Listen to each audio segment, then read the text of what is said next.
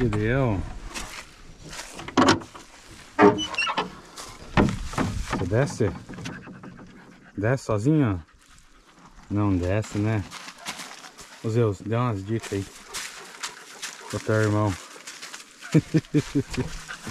vem, vem, vem, vem. Vem. Vem. Ah. Olha a cachorrada. Vão tudo pra sombra, né? Eles vêm juntos, mas ficam tudo escondidos. Ó.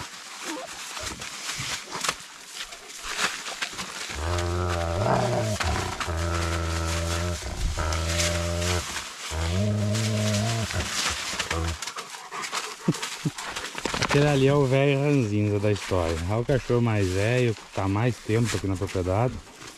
E ele é reinento.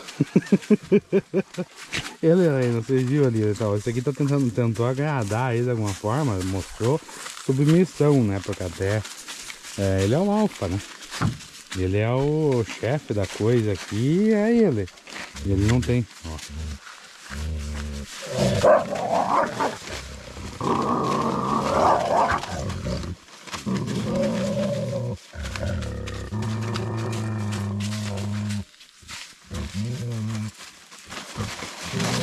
Lobo! Só que vocês viram? Lobo!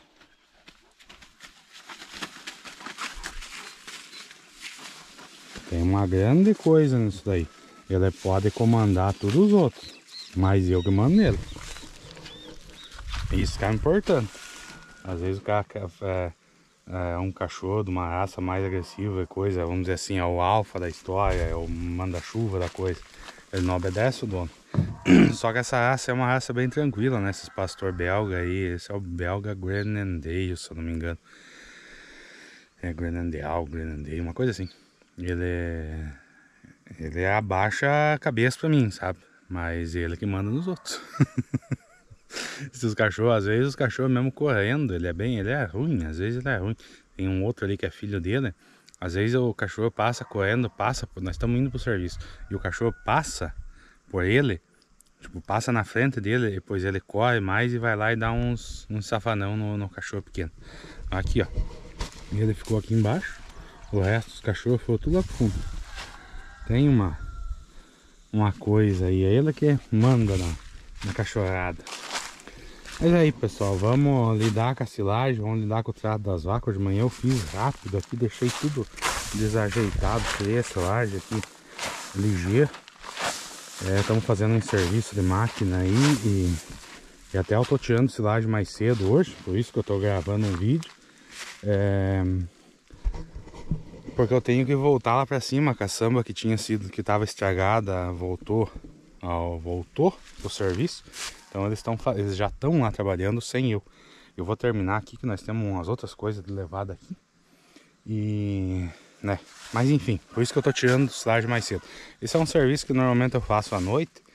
É, já depois de escuro, liga as luzes do trator. O trator já tem aqueles, aqueles dois farolzinhos em cima justamente por causa disso. Eu chego aqui, eu ligo eles e eu faço esse serviço aqui depois que eu cheguei do serviço. Depois que eu fiz tudo meus afazeres aí pra fora. Não é um serviço que tu pode fazer de noite tranquilamente, é aqui pertinho. Aí eu trato as vacas depois de terminar minha... Tipo, eu já faço a extra lá em cima. Aqui então, não sei nem o que, que dá de chamar.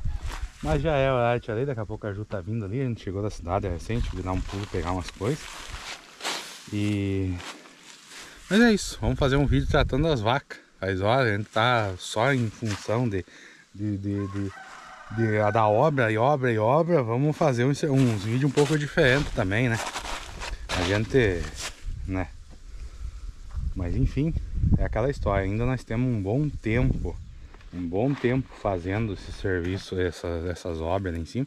Só que vai chegar um ponto que não vai ter mais nada, né? Vai ter acabado e pronto cada coisa, quando termina o fogão, quando terminar o forno, terminar a churrasqueira, terminar a cozinha, fizer a galinheira, fizer a chiqueira, vai chegar uma hora que não vai ter mais o que fazer, né? Tipo, é, são etapas, são etapas que a gente tem que cumprir para lá na frente aproveitar. E... Mas é isso, vamos tirar essa silagem aqui, que esse sol hoje tá... É 5 e pouco da tarde. Mas esse bichinho aí, Tá terrível.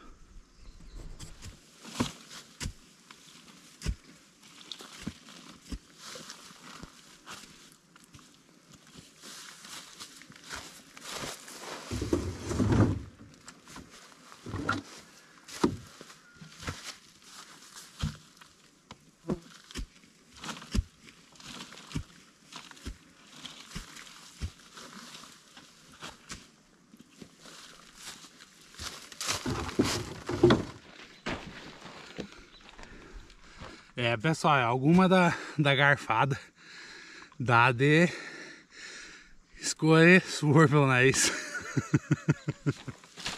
Tô na última já.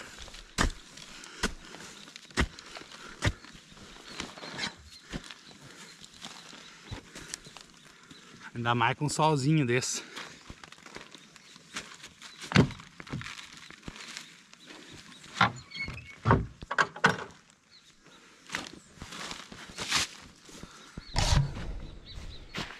Então aqui, ó. Tá aqui a carga. São 24 caixas. 6, 12, 18, 24. Tudo comida para vacas. Silagem. Às vezes para quem é novo, eu sei que faz Oscar, não mexe com lida com silagem. E todo dia tá chegando gente nova. Talvez pergunte o que é silagem. Silagem é um pé de milho inteiro é, sabugo, palha, talo, tudo.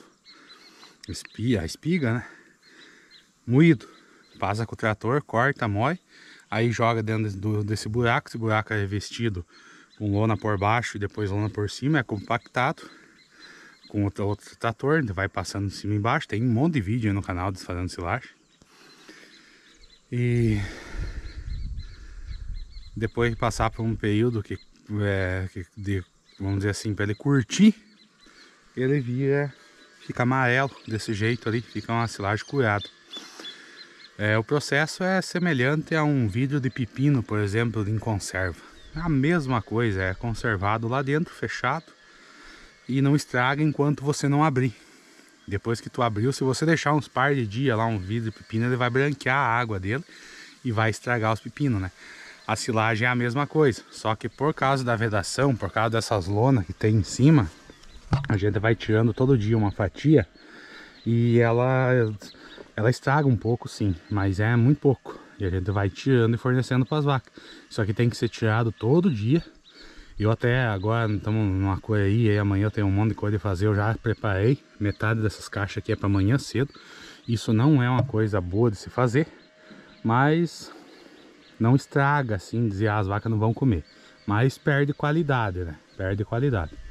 Mas é coisas que a gente tem que fazer para conseguir é, sair mais cedo de casa para fazer render mais o serviço lá em cima, né? Assim já tá feito. Agora é só encostar lá e jogar a silagem para as vacas. A Ju ainda não pegou as vacas. O certo é ela pegar antes, mas eu vou jogar mesmo assim.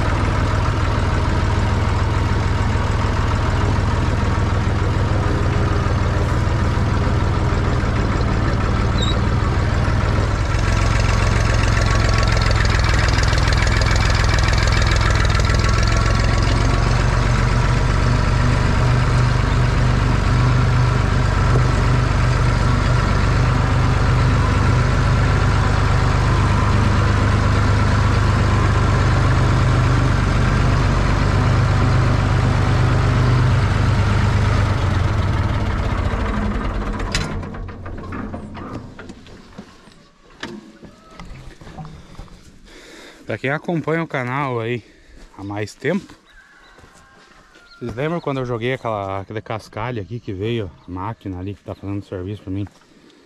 É, Que fez um vídeo anterior. Foi colocado o cascalho aqui Nessas pedras e coisa Pra eliminar o bar da, da Vamos dizer, a sonaterra assim. Então aqui as vacas ficavam no bar e aqui tava fundo, né? Ficou uma beleza. Aí o que acontece as vacas vão estercando aqui dentro, vai caindo é, saindo sujeira de, de silagem mesmo e cria uma camada de uma, de uma terrinha fofa. Aí não machuca mais os pés dela. Porque elas têm que pisar nessas pedras, podem ver, não tem rastro de vaca ali ainda elas entram. Mas elas não passam por ali, tem os cainhos delas. Né? Agora aqui já tá, eu falei aquele dia no vídeo, eu falei que em poucos dias essas pedras sumiam tudo. E ficava uma coisa melhor para elas. E assim tá. Não tem nenhuma vaca com problema de casco aí, nada. E estão todas sem aquele aquela porcaria daquele bairro que vocês sabem que já fazia algum tempo quando eu tinha o coxo lá embaixo agora é pura grama lá já escondeu tudo eu tinha o coxo lá embaixo vivia as vacas viviam no bairro depois eu mudei pra cá aguentou um pouco sem depois começou a chuvarada ali nós estávamos na seca né aguentou sem porque nós estávamos na seca começou a chuvarada virou numa zona aqui. aí eu tomei a providência de trazer essa, essas pedras aqui resolveu. Agora tá uma beleza. Aí tá o restinho do, vamos dizer, a parte mais grosseira. Elas não, não gostam muito de comer isso aqui. E é isso aqui que vai pra lá, se mistura lá. E que nem aqui hoje eu não preciso tirar essa quantidade aqui, mas que nem amanhã já eu já tenho que vir aqui vai e jogar pra baixo. Hoje tem pouco aí, elas ainda estão ainda estão catando um pouquinho, sabe? O certo é nem eu, não, eu nem dar silagem agora. Deixar elas, senão elas ficam enjoadas. Ele não sabe o quanto essas vacas são enjoadas. Essa aqui é a linda. O nome dela. Tudo elas tem nome ou um número. Essa aqui é a 186. A baixinha, viúga, violeta, durona, branca, mocinha, chifruda, que tem chifre. Um, amarelinha, a mica, aquela ali é novilha, não tem nome ainda. é, eu falei aqui, né, são 20, 24 caixas. É, eu tenho 12, eu tô com 12 animais aqui. Cada vaca come uma caixa dessas aqui por refeição. Então elas vão comer duas caixas dessas por dia de silagem. As caixas devem dar uns 20, uns 20 quilos. Aí elas comem em torno de 40 quilos de silagem mais ou menos. É, um pouco sempre tem desperdício, né? É, sobra um pouco ali, um pouco elas jogam pra fora, então fica aí uns 30 e poucos quilos aí de silagem, 30, 40 quilos de silagem que elas consomem todos os dias que a gente tem que produzir aí. Quando não produz tem que comprar de fora, né? Como foi o caso da, da silagem da silagem hum, do tarde aí do ano passado, que eu tive que comprar um pouco de silagem, que é essa que nós estamos usando aqui.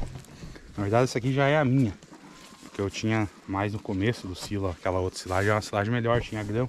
Essa minha aqui, olha, aqui eu tô vendo um grão. É quase só palha, sabe? Por isso que eu tô tendo que fornecer, é, fornecer casquinha de soja, que é uma alternativa à falta de grão. Tem o sabugo, mas não tem grão. Aí eu tenho que jogar é, casquinha de soja e coisa assim por fora para elas não emagrecer e para elas continuar produzindo leite. Mas vamos descarregar descarregar essas caixas aqui. 12 eu jogo aqui, 12 eu deixo aqui na beirada para amanhã cedo.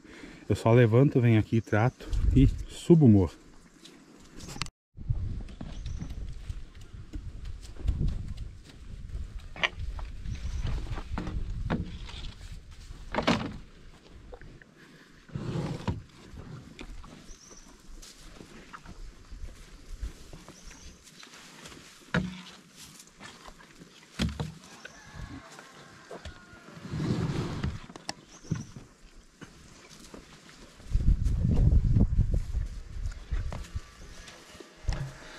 Esse é o serviço que muitas vezes a gente não mostra, né? Mas todo dia, todo dia, todo dia a gente tem que fazer.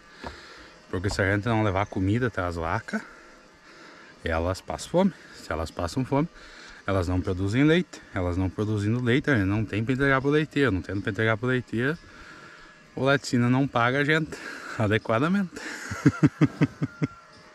e é uma cadeia, é um... A gente tem que fazer isso aí. Aí estão comendo. Isso aí para elas é o creme de la creme. É o comida mais boa que elas têm. Claro que elas gostam de uma pastagemzinha verde, né? Agora com essa seca aí, coisa verde, tá difícil, né? Tá difícil de ter alguma coisa verde.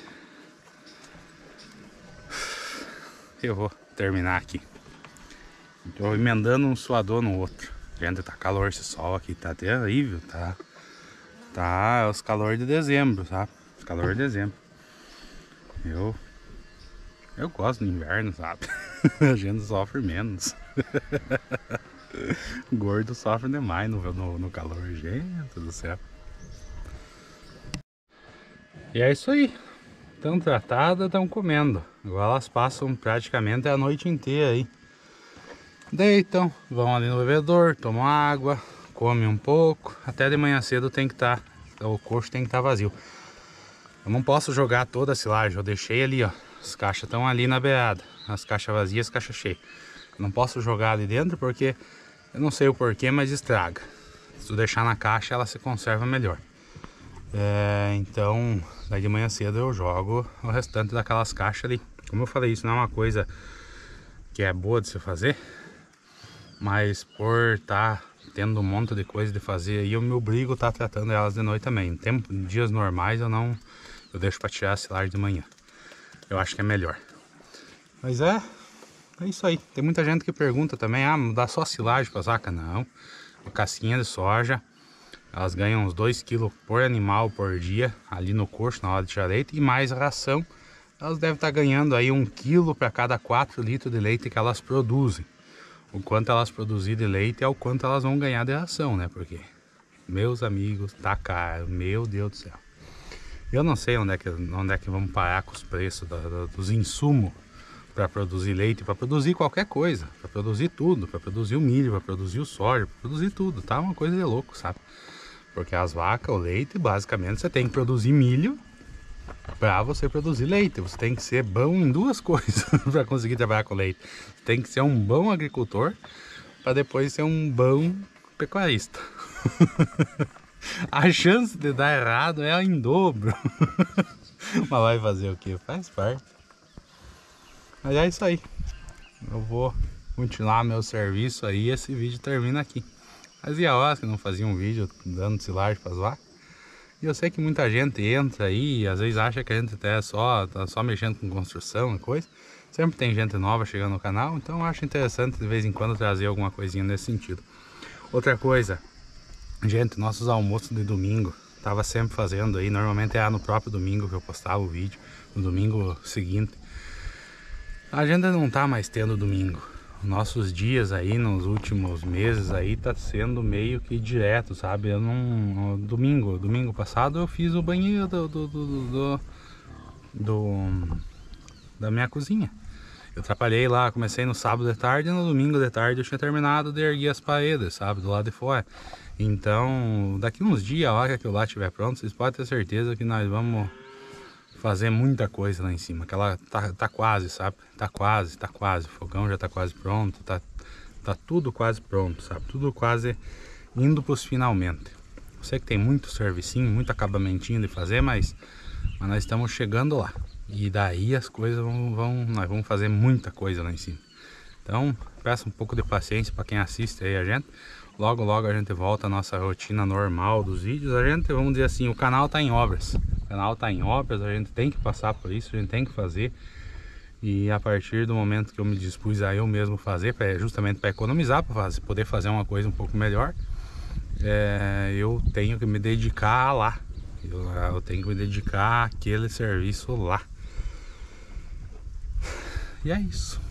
Beleza, pessoal? Vamos em frente e até o próximo vídeo. Fui!